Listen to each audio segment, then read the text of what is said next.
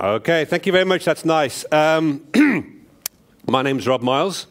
Uh, that's, that's me. Uh, Windows Phone Next. I'm going to take a picture of this wall because that's just awesome. I've not seen my name that big like ever. So, so there you go. You see there. That's me. That's fantastic. I also take a picture of the audience.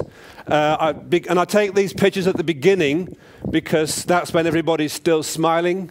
So I'll, I'll do this part of the room, then I'll do this part of the room, and I'll do this part of the room, and I shall, I shall stitch them all together badly and then whack them on the interwebs on 3ws.robmiles.com, which is actually the best website in the universe. Uh, and I have done tests. I'm not just telling you any old rubbish. I have done tests. Okay, so we're going to get from me. Well, um, about 50 minutes, but it'll seem a lot longer. Um, these are the jokes, by the way. I don't feel obliged to laugh, but if you don't, I'll cry.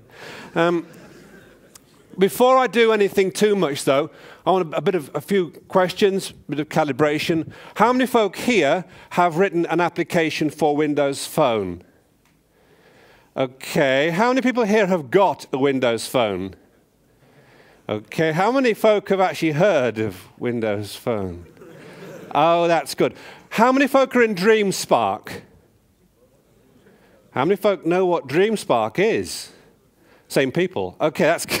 That's not surprising. You should be in DreamSpark if you're a student. You absolutely should, because it's free stuff, and students like free stuff. Um, students live off free stuff. Um, uh, and uh, so I'll mention all these things a bit later. But what I want to do in, in this session, oh, another few more questions. How many folk here have ever written a game? Okay, how many folk want to write a game? Oh, that's, yeah, all right. Okay, see if I can get that number up by the end. So, I'm going to tell you about Windows Phone, XNA. I'm going to have a go at playing around with some ideas to build a game. And then I'm going to tell you how to publish it and how you can become rich uh, and famous like me. or maybe not like me, maybe like someone rich and famous. Uh, so here we go. Quick overview of Windows Phone. Um, the actual platform itself is very good for games. Um, it even has support for 3D uh, using built-in graphics hardware. I'm not going to do anything in 3D because two reasons. One is 3D kind of hurts my head. Don't like 3D because it's got an X, a Y, and a Z, which is always tricky. Uh, and the second reason is that for a good phone game, you don't need 3D. Biggest selling game on mobile platform, probably Angry Birds. That's entirely 2D. Lots and lots of very, very popular mass market games are all 2D. There are some 3D ones, but you can get an awful long way with, with 2D. And uh, uh, to be quite honest, you could publish a game in Marketplace and it probably won't become a world bestseller and it probably won't make you rich, but it might get you that job that you wanted. I tell my students that, okay, you're students, it's a great life, three years of fun. You can do what you like. You can basically, you're your own boss. You, you, there's nobody telling you what to do. You can do what you like, which is great. Uh, but for those three years, be thinking about brand management. Uh, the, one of the few things that we're sure about in this world is that jobs for life are gone and effectively, you'll have to manage your brand through your life to make you as attractive as possible to potential employers. That's how it works, folks. That's the way the world is. So, your student times should be an exercise in brand management. So, when you go to that game studio for a job and you're sitting in the interview and the guy says, What have you done? You can say, Well, I've got a few games in Windows Phone Marketplace. They're not doing great guns, but the reviews that I have had have been positive. Here you are, take a look. Bang and they're there. I've also got a blog about how I wrote those. Bang, that's out there. And I've been on these forums for a while talking about rendering and speed up and game ideas and stuff. And that's, that's level one. That's pretty good. Level two, you go to interview and the guy says, Ah, you're Rob Miles. I've seen your blog. I've replied to your posts. Uh, I, I know what you're about. And that's when you really are, when your brand is working for you. So do this. Get stuff out there. I'm not going to kid you by saying you can write a Windows Phone game and earn a fortune because I don't think that's necessarily going to happen. It might, because you'll have all the good ideas. Uh, I'm very old and uh, just keep rereading things I've already seen. Um, you folk are going to have the novel stuff, and you're going to actually possibly have these things coming out of your head. That would be nice if it did. But you really should be working at taking part in stuff. Imagine Cup, another great platform to get your brand out there anything which helps you strut your stuff and makes you different from the other three guys sat next to you in the queue to go in for the interview.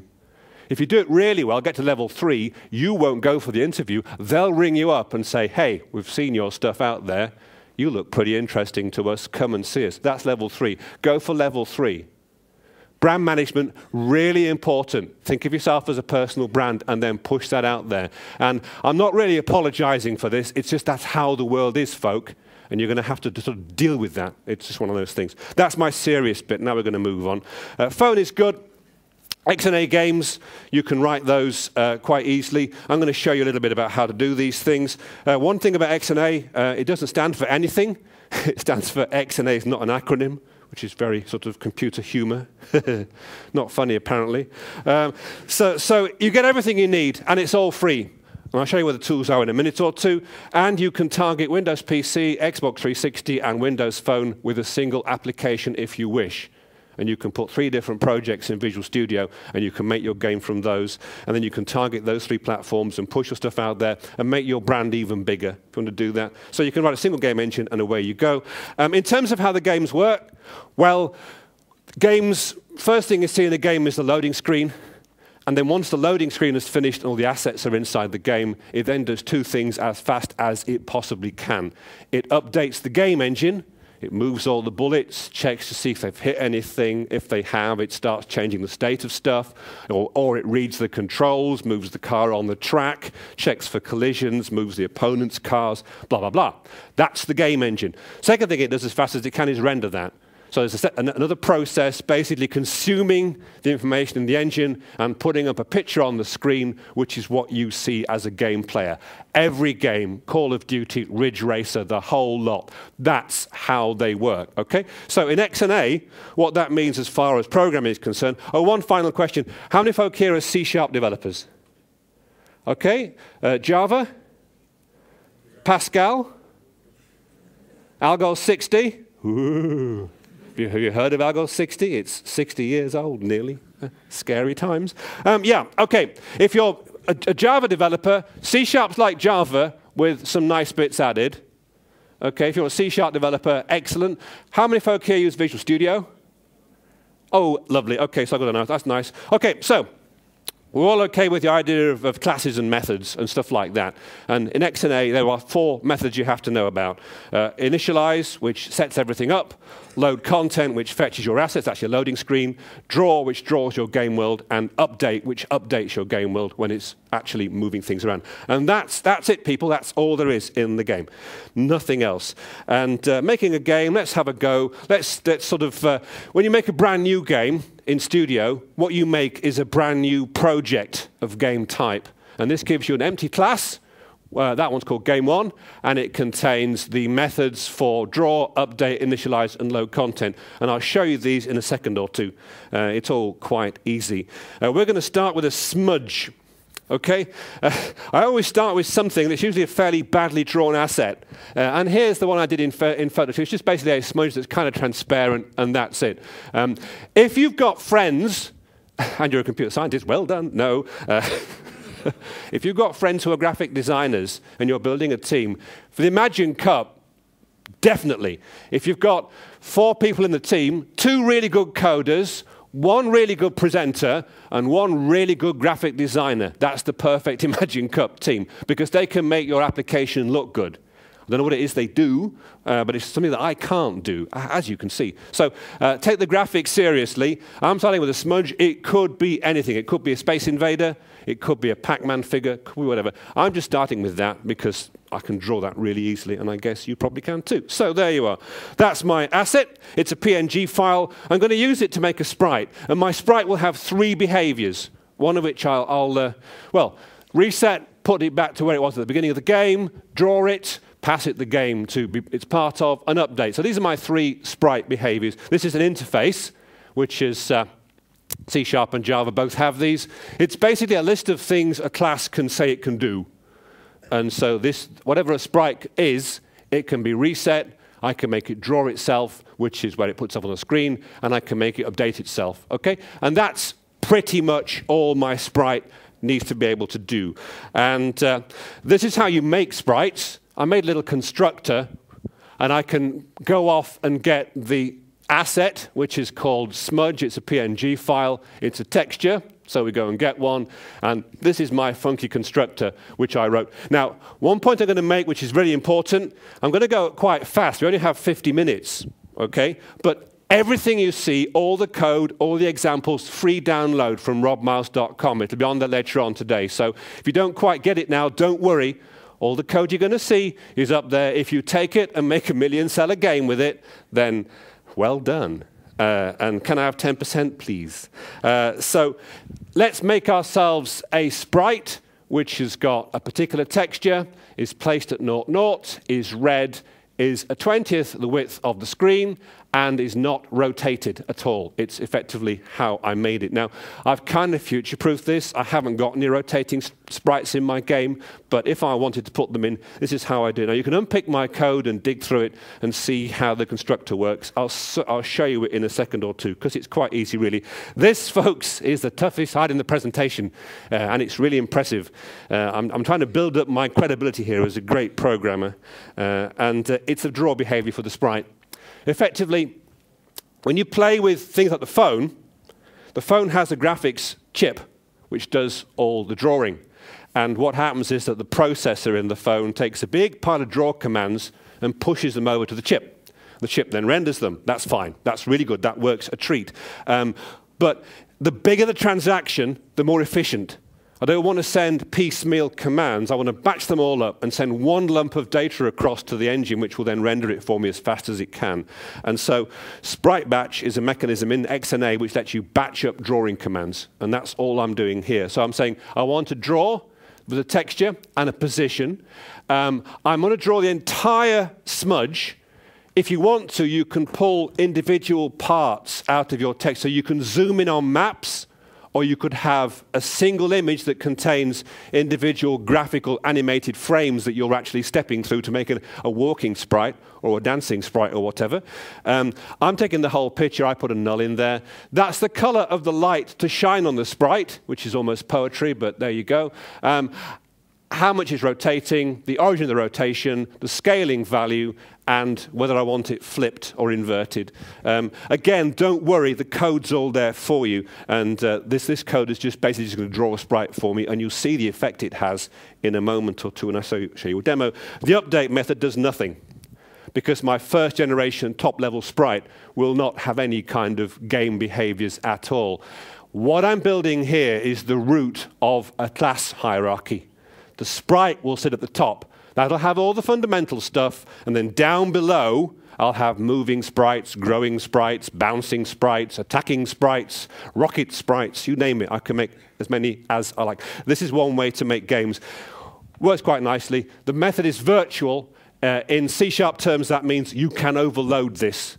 In Java, you express it slightly differently, but the principle is that I'm going to make child sprites that have different behaviors, and I'll show you a few as we go through the code. Okie dokie. So we have a very simple sprite engine, which doesn't do much. I want to make things a bit more interesting. I want to draw with these. Okay, let's do that. Let's make a smudge um, drawing program and see where that takes us. Okay, so C Sharp has a whole bunch of rather nice collection classes that come with it, one of which is called list.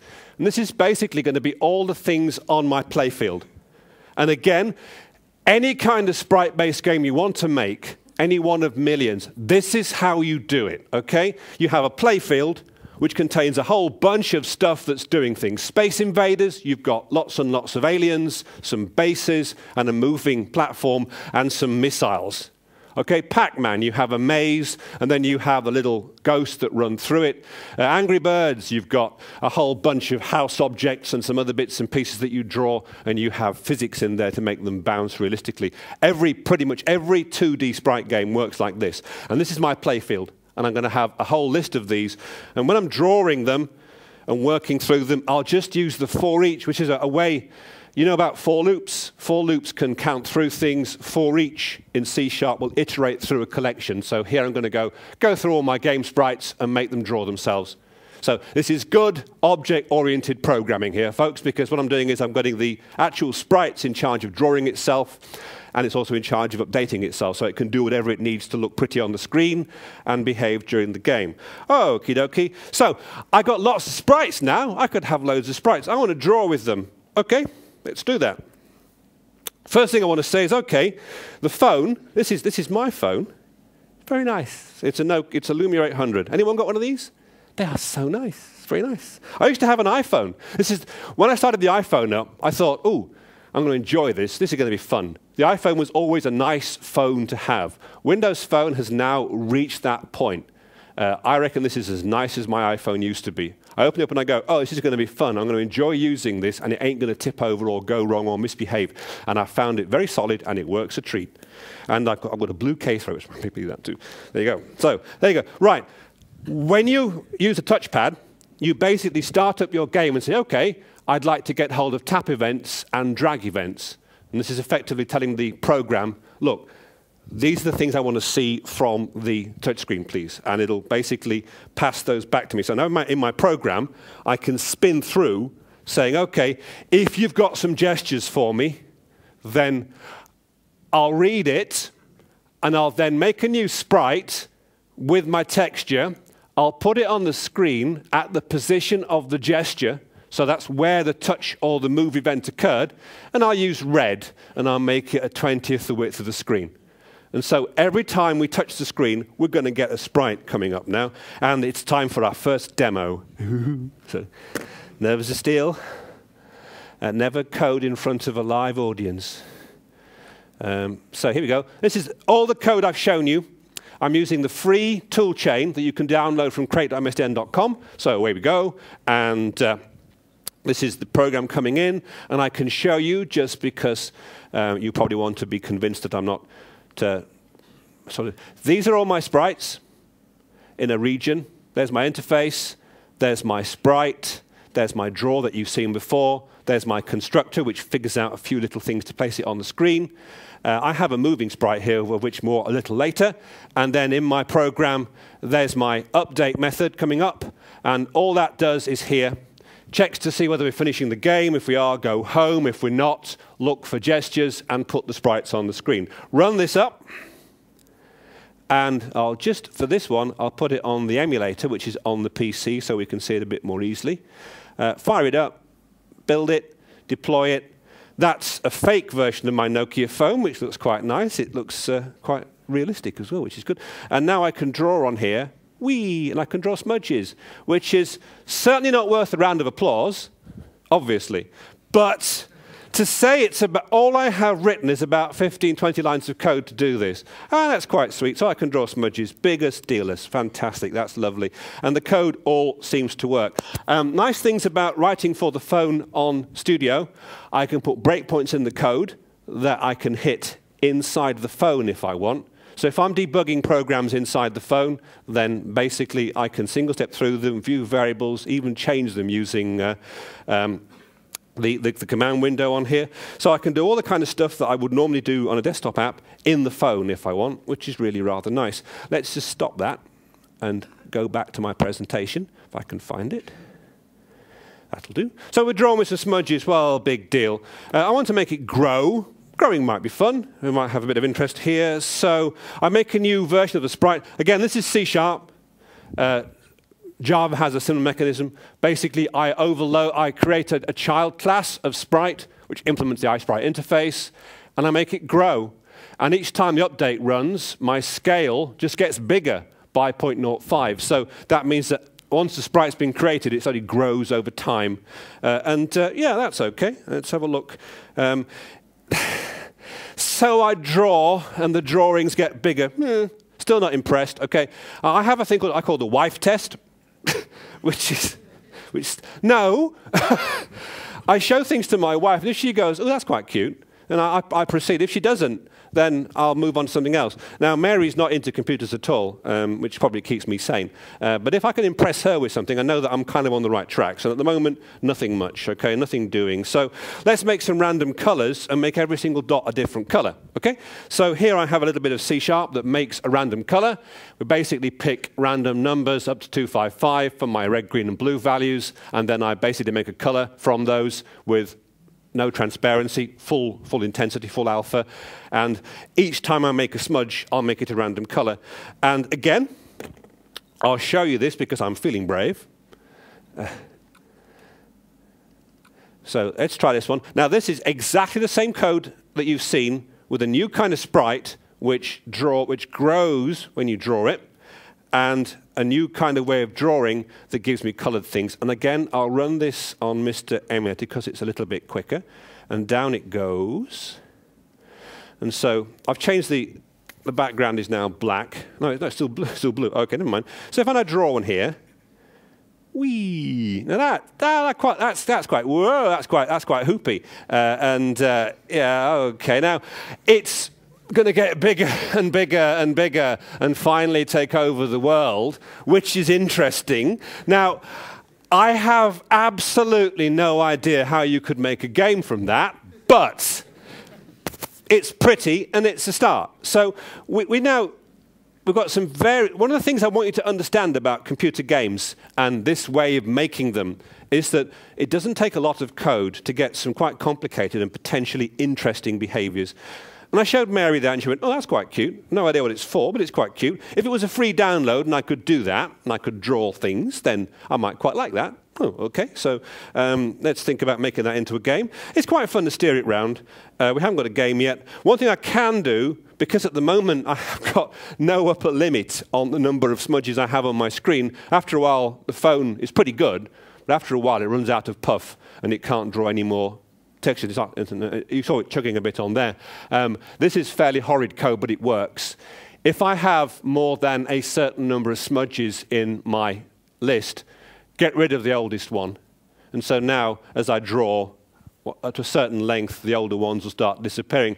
Now, there are games you could actually make using this, where you're guiding a snake-esque kind of thing around, trying to eat different colors. That would work.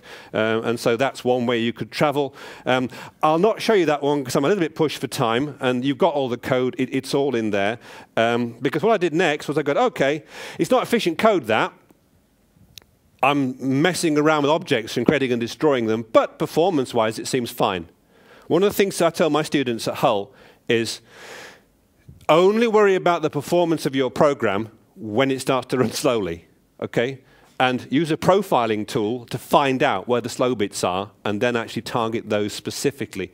Uh, and that seems to work quite well. And I thought just using a list and deleting objects would make work for the garbage man, and it probably does, but not in a way that I've noticed having played with it for a while. So I, I would quite happily ship with that. It's fine. And I'll show you why I'm happy a little bit later. So what we can do, we can add new sprites. We could make sprites that drift across the screen. We could make sprites that bounce off the edges. This is all very, very simple geometry. The game could produce these as well as drawing them. And so what I did then was I went, OK, this is my work in progress. This is kind of as far as I got. And I, I stopped uh, actually doing this uh, to come and do this session. So don't, don't feel guilty. but uh, I, I'm one of these idiots, that's the technical term. I'm one of these folk that programs for fun. I like coding, okay? I buy video games, but that's mainly for the, the joy of purchasing them, I think, because I'm quite happy to spend the evening messing around with code and seeing what I can do. And just to, just to sort of prove that we're not actually messing around here, I'm actually going to target the device this time and show you what it looks like on a, on a real platform. That's my Windows Phone down there. So I'll open him up and just slide that away so that it's now open. Now I'm deploying the application to the phone now rather than to the emulator. The experience I get is exactly the same, except for the fact it's now running inside the device. So in a minute or two, there it goes, and my phone is now running my lovely little game. And I can do this, and it goes, wee. And what I'm doing now, I'm drawing a snake, and every time I draw something, I'm also making some particles fly off it at random directions. So I'm into particle systems, and that's quite cute. Now, again, I've no idea how you can make a game from it, but I don't really care.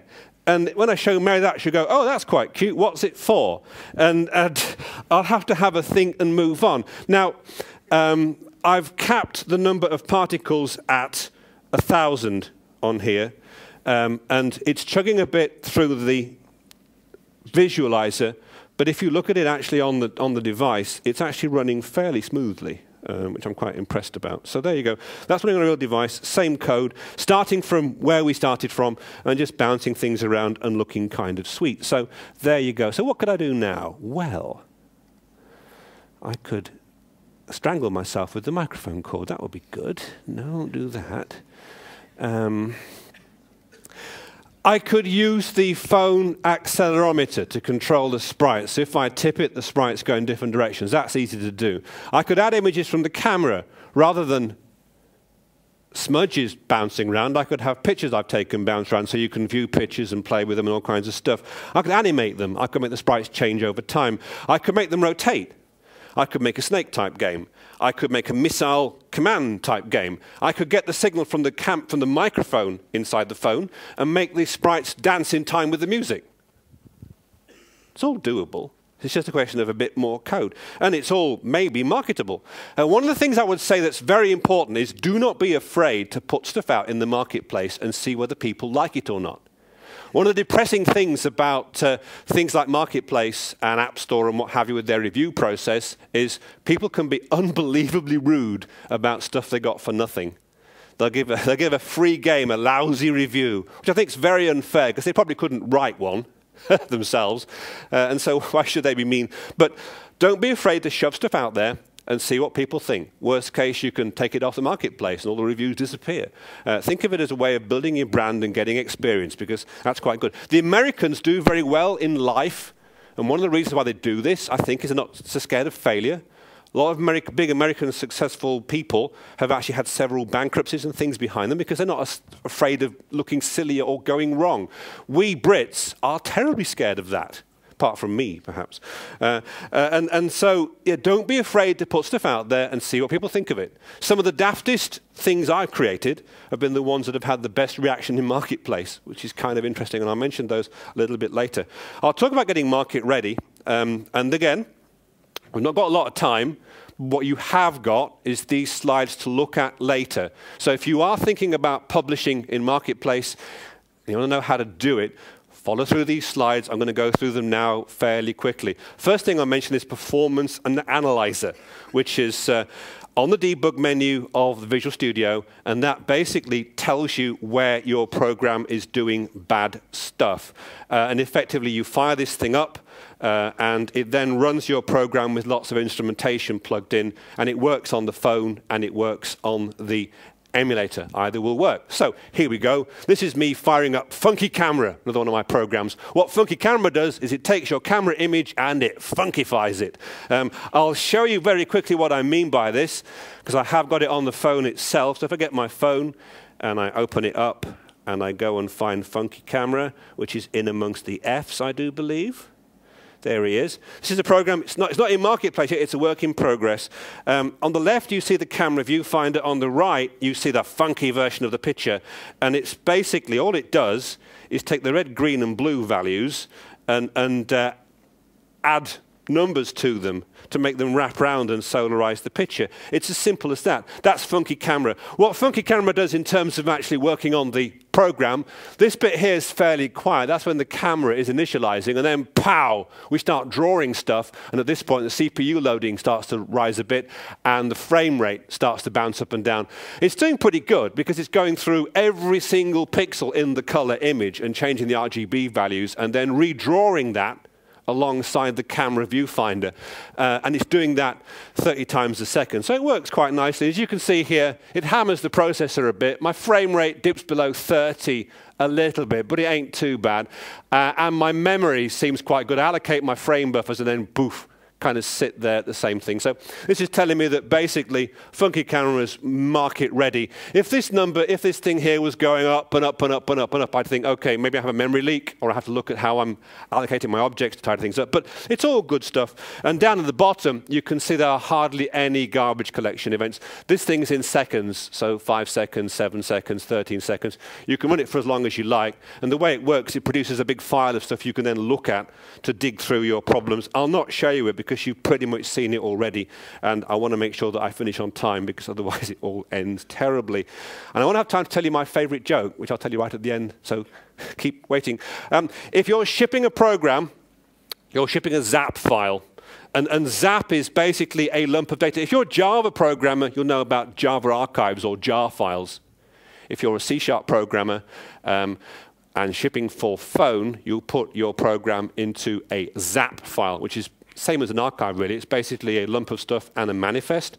And the way this works is uh, it is a zip file. You can look inside it. I'm not sure you'd want to, but I did. So that's my puzzle program. There's the app manifest. There's the Windows mobile app manifest. And I'm mentioning these because you need to know where they are. App manifest is kind of boring and doesn't do much. There it is. Uh, Windows mobile app manifest, that's more like it because this one tells me what I'm going to use in my application, has the capabilities in there. Now, when you ship a product, you might use the camera, you might use the audio, you might use the contacts, you might use the web browser, blah, blah, blah. You ask for those specifically, and then when the customer gets it, it says, this application uses the camera, is that okay? Or this application uses your location, is that okay? And this is where you tell the system, these are the requirements of my app. And by default, you get all of them, you knock out the ones that you don't need, and then you move on. And so having done that, I can put in some details, give a thing a name, funky camera, give it a type. This one's a Silverlight app. If you're writing Silverlight for the phone, you can do that as well as XNA. I tend to do both because I am that clever. yeah, right. Moving on. Uh, and then an author, description, and a publisher. And you push all that stuff out there, and away you go. Edit it in Studio. It's very easy to do. Uh, you just actually pop these things in there, and then you've made yourself an icon. This is another one of my famous, world famous games, Rob's Red Nose game, which is a game involving red noses. Uh, and it's actually the most complex I've ever built. Uh, and it took me about two, two, three weeks to make, and I did the icons overnight, which was stupid. Because they, cause they ain't, they're okay, but they ain't great. This is where your graphics designer comes in. You start making the game. You decide what it's going to be about. You put in a bunch of placeholder graphics, just any old pictures that'll do so you can get the gameplay sorted. At the same time, your graphics person is turning out all the nice looking artwork. And finally, you meet up, drop in the real graphics, and it looks stunning. And while the graphics person's been doing your game objects, they're also doing all your icon iconography, the things that appear in the start menu, the things that actually users will look at and go, that's quite nice, I might want to buy that. So please do your icons, get them done properly uh, by someone who knows about these things. I don't know much about graphic design. All I know is that I shouldn't try and do too much because I'm not very good at it. Okay? And so I keep my stuff simple because that way it, it doesn't sort of get, go too badly. So you make these, put them in your project file, and away you go. And your XAP file lives in your debug or release directory Best use the release one, which you then push out and, and send away. So if you get deeply into this, then dig through these slides and I'll tell you how to do it. There are some rules. You can't ship more than 20 megabyte applications over the air. That's down via 3G. 20 megabytes doesn't sound a lot. You can send 400 megabyte ones via Wi-Fi, okay? Or via the Zune connection, which is another network connection you can use.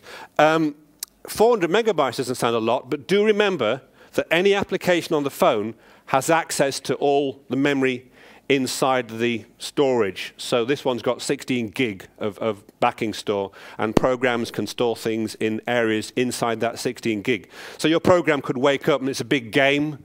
So it could wake up and go, oh, I've not been run before. This is my first run. So I'll go online and pull down the assets, bang, and drop those in. So if you want to have more data in your game than 400 meg, then you can do that just by pulling it down yourself. Because remember, the code that runs in here has got proper web access, network access, all that kind of good stuff. If you want to find out more about this process, go and look at that document there on that link. That's all good. And away you go. Sharing them, yeah, I can give my XAP files away. I, I, I can send the actual XAP file, and a friend of mine, because I have friends as well, um, could download it into their phone, which has been unlocked, and run it. Uh, and they can play with it on their emulator as well. Either will work just fine. Uh, obfuscation is very important. My students at Hull tell me I obfuscate all my lectures. Uh, um, not funny. It, it, means make this very hard to understand. If you push out some code with some very clever logic in there that's taken you ages to get right, if you ever played around with a tool called ILDASM or uh, any of the um, decompilers out there, taking programs to bits is very easy. So if you're shipping a program you're very proud of, I would look at obfuscating it first, changing all the variable names and having the logic uh, made hard to understand. There are programs that will do this. One of them is made by a firm called Preemptive. They used to have a very good deal for Windows Phone developers where they give it away at a very low price. There's still a free version you can make use of. And the other thing which the Preemptive code will do is it will add instrumentation. So you can go online and find out which parts of your application the users are doing the most with, which is very interesting. But it also lets you make code that people can't easily steal. And again, there's a link in the presentation for that, so, so by all means go down there and take a look. The marketplace is where you sell stuff. There's news. and it's the only way that consumers can get apps into their phone. This is basically the Apple App Store model, but done by Microsoft and called Marketplace. Okay? And uh, you write your applications, send them in for approval. If you're a developer, you can unlock your device for development. And the ones of you that are in DreamSpark uh, can become marketplace members and unlock one device for testing on. Everyone else who's a student can join for free. If you have an Athens number, uh, which is a student resource for uh, libraries and things. You can use that to get in there, or university email account, whatever. It all works. You should basically be in DreamSpark because then you can publish apps for free. Quite a few of my students are doing that. And uh, everything happens at dreamspark.com or create.msdn.com. That's where uh, the people that pay tax, like me, have to go and sign up and do things and pay the money. Um, if you sell something, you get 70% of the money for yourself, which is nice. Um, and uh, uh, that's, people go, oh, isn't that taking a lot off? No, not really, because there's no other way. Well, so here's the thing. When I was a student, okay, I learned to program on punch cards. And the best way I could build my brand was to print out Snoopy calendars on the line printer, okay? There was no way I could impress anyone other than my limited social circle with my line printer abilities, okay? You guys have got it so easy because you can put stuff out there that the whole world can get hold of. Like that. You could put things in marketplace, anyone around the world can get it. So the fact you've got that ability and this kind of system makes that possible is tremendously valuable. It's very nice and you're very lucky and I feel very jealous. But there you go. You can give out free applications or you can sell paid ones. Either will work. Um, the paid ones can have trial mode, so you can have a trial version of your game with just the first two levels, and then customers can buy into the whole thing. You can put links in the game to take them to the marketplace page so they can buy the full version. You can do all kinds of good stuff. You can publish up to 100 free apps and any number of charged ones or paid ones. That's the way the marketplace works. And uh, there's also a try before buy mode. So what I can do is I can put this tiny piece of code into my game. If info is trial, go get my license information. If I've got the trial option set, I'm running in trial mode. And uh, so at that point, we limit the functionality a little bit. So it's very easy to do that. You can also give away free light versions. You can also fund your work by advertising, of which more in a minute. Submission's very easy, but you have to go through a validation process to make sure that the, the game or the application behaves itself doesn't try and take the phone over or, or, or do naughty things, um, and that all the assets are in the correct format. And so the interesting thing about this is they have a, a, a, mechanical testing process where a program goes through your code and checks for naughty references. Then a real live, breathing human being will fire your game up and work on it. And if they find a mistake and they found them in mine, they actually send you an email or a report back with exactly what they did and how they broke it. And these people are pretty good because they found some mistakes that I've made in terms of how certain behaviors were supposed to be in the game. And they basically said, start the game, do this, do this, do this, press back, it goes to the wrong page, please fix this. So I did. Went round again, and Red Nose Game made it into the marketplace. So you get very good feedback on, on how, it, uh, how it all fits together, which is nice. You also have a thing called a test kit, which is part of Studio, and that lets you actually check to see whether or not your app conforms. And this is the first part of the test. Those are my icons for Red Nose Game and my screenshot. There are also some more automated tests, some monitored tests, and then a list of all the manual behaviors that the person testing your app will do. So you can test the app before you submit it using the same testing process that Microsoft use. And that's kind of cute. That's kind of nice. You can also send deep links to up to 100 of your personal contacts to get a beta version of your game and install that on their device. So you can do closed betas of, of your program before you make it into a real one just by setting that option in the thing. And you just basically push out a whole bunch of email addresses and then away they go. Cheeselander, if you've not heard of Cheeselander, it's legendary. You can buy it in Marketplace. It's, uh, it's, it's like, I'll say no more. I might even show you it later if you get that lucky. Advertising, yep.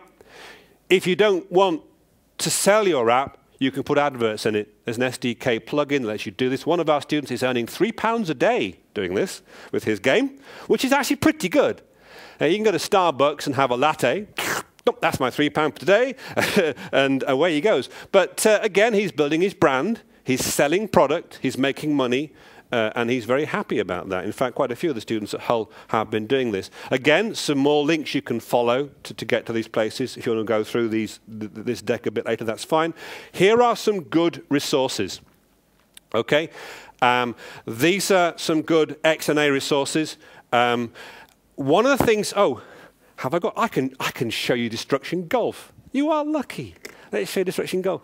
Uh, one of the things you can get if you're into high end, not high end, what who am I kidding? If you want to do more interesting things, uh, then I've just got time to show you Destruction Golf. We do a thing in our uh, department every semester, which is a 24 hour game development. We give the students an idea for a game. In fact, we have a thing called Three Thing Game now, where we give them three words and they have to go and make a game based on those three words and spend 24 hours in the department actually coding it up over a weekend. And the students love this. It's great fun. We started off, it came from an idea, we, we had two words, destruction, golf. Okay, and I said, those are your two words. Make me a program that actually encapsulates destruction golf. And off we went. And this is what I gave them to start with. Okay? And it's going to deploy to the emulator, and here we are. And this uses a physics engine called Farseer, and immediately you can see why I need to have a graphic designer on my team. Okay? Because it's a house, but not as we know it. Um, and I've got two, three objects in Farseer. I've got a shelf which is fixed, a house which is movable, and a ball which is at the moment fixed. Now, remember those gestures I was talking about with the touch panel? I can actually use, uh, there's a flick gesture which gives me a vector, and I can flick the ball, and I can hit the house and knock it off the thing, and I've missed, I've failed. That's not good. So I'll try again. The idea is to flick the, knock the object off the shelf. That's a good shot. And then land on that platform. The screen then pans to the right, and we have to hit the next one, the next one, the next one. And this is all done. Oh, no, that's not going to go. Oh, blast. Uh, it's failed. Okay, uh, if I get really stupid, and fire the ball too far. I go, wee, right over the top, and finally, off into my texture. and, the, and that's again. So this was the starting point. Students went nuts with this. Uh, one of our students called Harry put a version of Destruction Golf in the marketplace. He built some levels using this engine. And he's done very, he's had 10,000 downloads, which can't be bad, and some very good comments, and a lot of fun. And he's built his brand which is what he wanted to know. We've reset and back we come again. So that's, this is using an engine called the Farseer Physics Engine. And that sample code is out there. Go to destructiongolf.com. Uh, I buy domain names. Some folk have tattoos uh, I have domain names, much cheaper and easier to remove if you don't like them afterwards. Um, so, so uh, yeah, go take a look. It's all out there. It's all good. And that's the wrong, that's what you want. Oh, gosh, where is it? Is it that one? No. Where is it? Come on, Robert. Use that thing between your ears. Oh, no. Not my nose again. Uh, now, you can find out more about Farseer there. It's, it's a good resource. Um, if you want to make an Angry Birds clone, Farseer is a really good starting point. Okay? Um, although I'm not quite sure why you want to do that, but maybe. Um, if you want to make yourself um, a nicer place to work and, and, work with your particular brand of phone, then you can put in your emulated skin switcher, which lets you do what I just did on mine. Little Watson's kind of good. What that does is effectively compile and email fault reports for you. If your phone tips over, if your game tips over, you want to do two things. You want to make the user feel better about this and find out what happened. So if you're building a mobile app for any platform, doesn't matter. If it goes wrong, write a log file. When the program starts up next time, if the log file's there, say to the user, terribly sorry, I seem to crashed last time. Do you want to report this? And if they say yes on the phone, you can pre-populate an email message and then push that out to yourself. You will then get a stack trace that tells you where it went wrong, and you can email back the customer saying, I'm terribly sorry about that. There's a fix in version 2. Please download it, whatever. So have a process by which you can do that. If you want to do that in an XNA game, someone's written one for you called Little Watson, and that's the link for it. Uh, the second thing you should have in your game is a kill switch. If someone finds a horrendous bug that makes it impossible to play beyond a certain point, then it'll take you four or five days to get your application through marketplace certification for the fix. And that's four or five days where users will be playing your game and hating you. Okay? If you put a file out on the web somewhere, which your program checks when it starts up, then you could put a kill switch in there that puts things up like, I'm sorry, there's a bug in this at the moment, please bear with me, and stops the app or puts a warning out for the users, which is kind of nice. So think about that one. Again, whatever app you're making for a mobile device, don't care what platform, do those two things. Provide a way of dealing with faults and a way of handling massive bugs.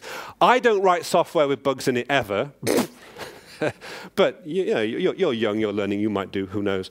Other resources, uh, Bill Simpson's stuff is very good. And that's me, robmiles.com. I'm on Twitter as at robmiles and uh, um, well worth following, if only for the jokes. Okay? Um, very subtle bug, plug, buy my book. It doesn't come with crayons. Someone said it needs to. Thank you. If you're learning how to program, it's a good Introduction to Programming Using XNA, and there's a chapter at the end on phone development. If you can program already, then maybe more advanced books might be worth looking at, but it's all there, uh, and uh, feel free to sort of have a look at that. And uh, where are we? Yes, make stuff and have fun. If I can leave you with a single message, really, it's that this stuff uh, lets you be really creative and get your name out there. And as students, those are the two things that you should be most concerned with doing at the start of your, basically, your, your working life. So please do that. It's a great place to do things and get things out there. Um, all this stuff will be out on robmiles.com, including the audience pictures, so you can check to see if you're there. People do, I'm told. Um, and, and, so, yeah, it, it's just really nice. Here are some links which you can follow. Again, the slide deck will be there to download. Don't bother trying to write these things down. Um, all I will say, though, is yeah, thank, thank you very very much for being a, a truly splendid audience. You're the best audience I've had today so far. Uh, uh, and uh, go out there and, and have fun and, and fun. And my, my, joke at the end, okay, right, okay, there's these three folks in the car, and the car breaks down, and the first guy says, I'm an engineer. It's probably a problem with the mechanical pistons or crankshaft. Second guy says, I'm a chemist it'll be something to do with the fuel air mixture not working correctly. And the third guy says, I'm a computer scientist. Let's all get out of the car and get back in and see if it works. okay, and with that, thank you very much and uh, keep smiling.